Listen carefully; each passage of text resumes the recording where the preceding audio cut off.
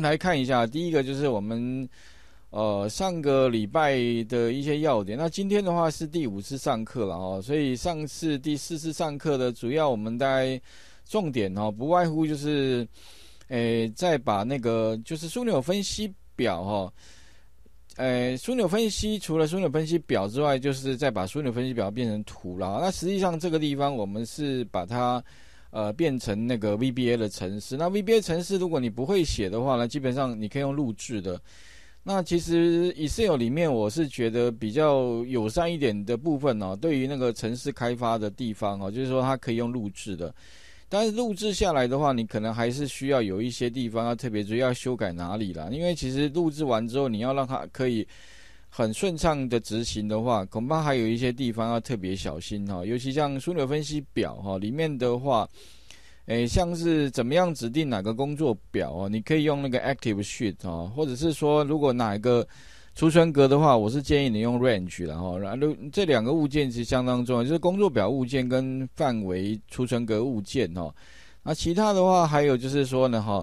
呃，就是续的物件呐，还有就是增加那个直条图啦，甚至我们上一次上课有讲到有关建立那个三 D 地图啊，比如说你的资料里面假设牵涉到有关这个地理位置的话，其实这个新版的那个 Excel 里面呢，其实有提供一个三 D 地图的功能，那这个蛮好用的，我是觉得你可以把数据哈直接放在那个就是地点上面，好啊，其实这个这个部分其实。是还蛮 OK 的，诶，但是呢，它里面有一些限制啊，就是你可能还是要提供给他一些讯息，比如说到底是县市啦，还是完整地址啦，还是经纬度啊？啊，其实经纬度会跑得最快啊。如果你给地址，它好像里面的那个 就是呃，三 D 地图的城市哦，它会先帮你转换到那个地址，然后再把那个地标打上去。OK，那其实你可以呈现出什么？比如说，嗯，哪个地方的窃盗案件比较多的话，诶，你可以打地，或者哪个地方销售量比较多，你也可以把它地标打上去哈。OK，那再来的话呢，我们有讲到有关爬虫部分。那爬虫部分当然方法很多了哈，其实能做的方式其实蛮多，但是哪个方法会比较简单又不容易出错？OK，那这边我是上个礼拜是有提到有关有一个叫。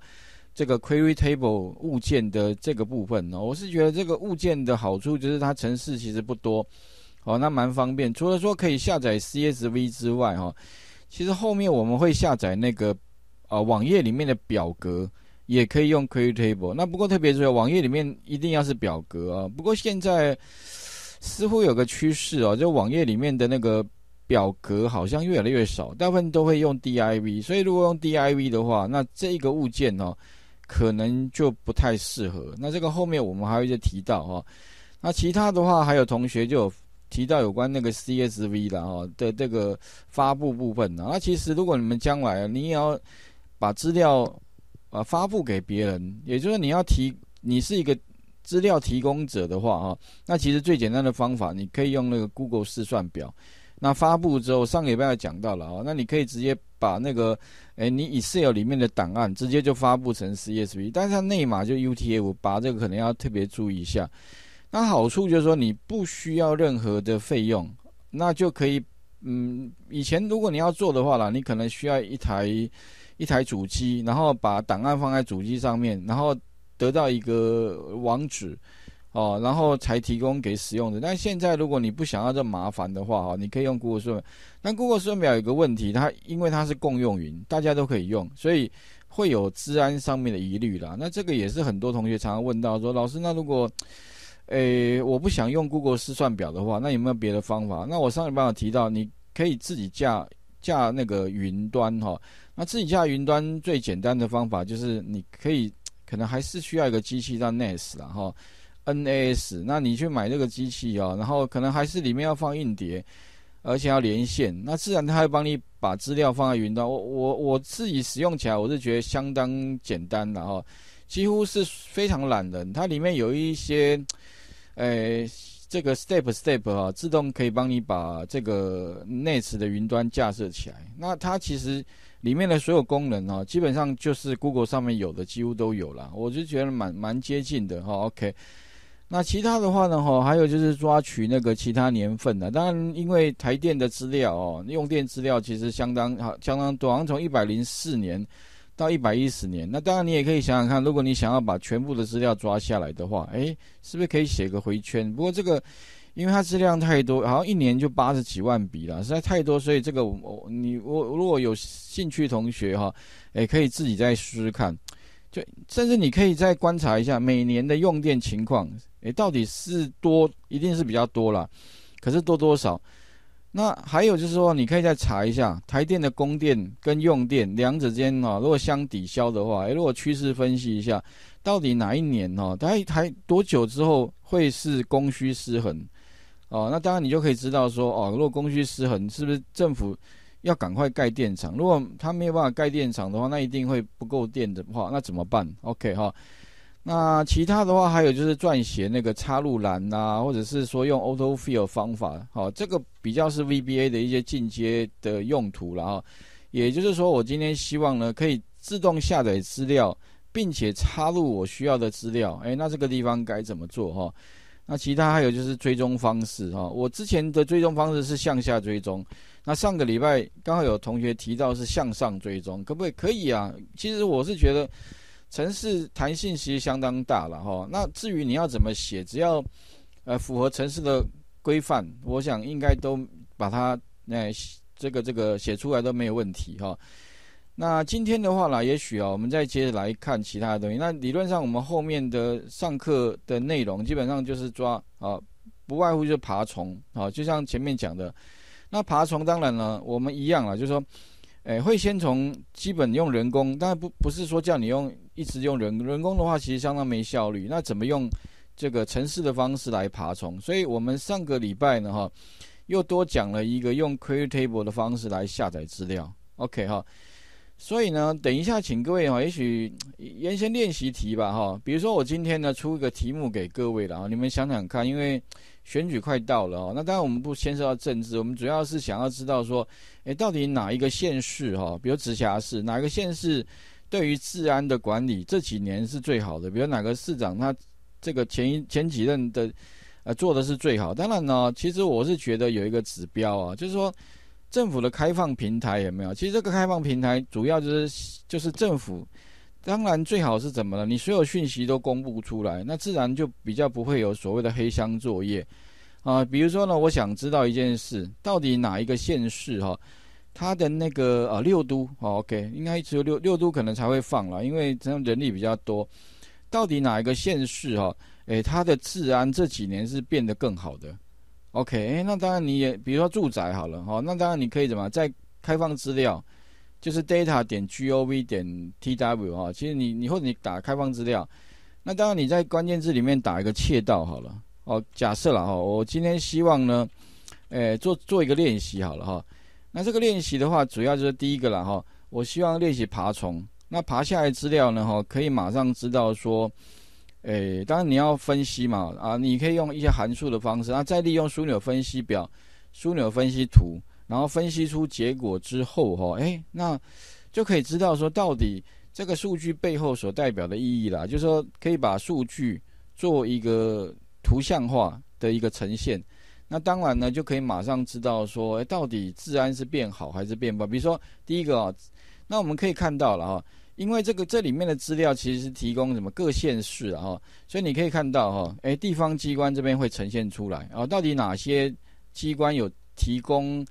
有关窃盗相关的资料，那你可以看到，哎，最多好像是台北市有八笔，新北只有两笔，好，然后桃园有五笔，哦，等等的。那当然，如果里面假设有牵涉到住宅窃盗是最好的，哎，这个好像这个就有了，OK 啊。但是呢，可能提供的资料哦，最好是 CSV 的，OK。那当然，他这边有提供 API A P I 理论上应该是 JSON 的哈。OK，那比如说我们看到比较直接、最简单的，好像最容易抓的应该是哦这个了，台北市的住宅窃盗跟桃园市的住宅窃盗，哦，那有没有台中啊等等的？OK，看起来好像排在比较前面的哈，哎，好像这两个比较直接可以抓。但是呢，如果我假想啊，只表示假设了，我们刚好以这个当这两个县市当案例好了。哎，如果我想知道到底台北市，哎，跟桃园市比较好了，哎，到底它你好像资料也都提供的范围是不是都一样？好像也都从一百零四年开开始提供，哦，哎，如果我想知道说从一百零四年开始哈，到底台北市的住宅窃盗是变好还是变不好？那相较于桃园是不是也是会有一样的问题？OK，第一个，第二个的话，我想知道说，到底这两个县市哦，哪一个区域的那个住宅窃盗案件是最多的？哦，当然有分区啦，比如说那那个什么台北市哦，诶，最贵应该是大安区。那我假设了，我想知道说，诶，这个房价哦跟治安是不是正相关？OK，是不是它房价越高，它的窃盗？越低还是刚好是负负相关还是不相关？好，这个我不知道了。不过各位可以稍微看一下哦。那另外，如果你要练习的话了啊，目前因为我们只有讲 CSV，所以呢，请各位看一下，哎，刚好有 CSV。那未来哈，我们还会再讲像那个什么这个 API。那 API 理论上哦，应该就 JSON 了。我们点开来看一下，比如像青年切到资料好了。那你可以看到哈，这边的话就有提供哦，CSV 跟 API。那 API 的话，你可以点击进去的话，点击它看看，它里面提供一二三个栏位。OK，UTF 八 API。那我看一下哈，那 API 的话呢，理论上哦，我我看一下开放资料，它会用这种方式呈现。那各位可以看到，这个呈现方式的话，实际上就是所谓的 JSON。好，那你可以看到了，那 JSON 的话，通常是外面是大刮胡。好，OK，然后大刮胡里面会有有一个 key 跟 value，哈，key 的话呢就是冒号的左边，value 的话右边，好，不过你会发现啊，哇，这个资料如果要把它抓起来，显然是会需要有一些方法，OK，那怎么做？后面我们还会再提到有关这个 API，哈，其实这边指的就是 JSON，哈，怎么去抓这个资料？那请各位试试看好了，也许你们先从第一个好了哈，台北市的住宅窃盗。那比如说呢，我想知道啊，最好是将来这些资料的统计啊，哎，可不可以就是变一一，就是说变程式，最好是写一个程式，自动怎么自动下载资料？哦，资料在哪里？资料在这边。OK 哈，这个网址。不过跟各位讲一下哈，台北市政府因为它好像下载虽然是开放资料，但是它因为之前城市可以直接抓这个网址。但后来他好像在这个网址上面哈动了一些手脚，让你没办法直接抓。所以哈跟各位讲一下，后来我试了一下这个网址啊，你直接抓会失败。那怎么办？没关系，你抓下面这个网址，下面一样会有个 CSV，也就是你手动点击它，它会下载。它好像多了一个 Attach 啦，就是变成一个 Attach More，就这边它下载变成是直接下载。好，它。不让你抓，但是可以下载。OK，那如果你要抓资料的话，你可以从这个直接按右键，这边就有个什么复制，诶，连接网址，一样可以得到一个你的那个网址。那当然你可以把这个网址怎么样丢给那个 query table 去抓取。OK，那所以哦，请各位试一下，我们未来的需求是，诶，可以直接爬取，然后直接呃产生枢纽分析表，然后直接产生枢纽分析图。不过在做这个当中哈，你可以先用手动的方式先踹踹看吧。OK 哈，那先请各位呢先试着把刚刚讲的部分稍微练习一下。OK 哈，那我一样把那个画面哈，哎，先还给各位一下哈。